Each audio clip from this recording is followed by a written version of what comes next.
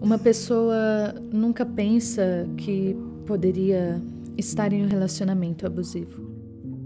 Até que realmente está em um. Se o seu parceiro te critica sem parar, te proíbe de visitar amigos, família, te, te grita sem motivo, ou até mesmo tira a sua privacidade. Cuidado.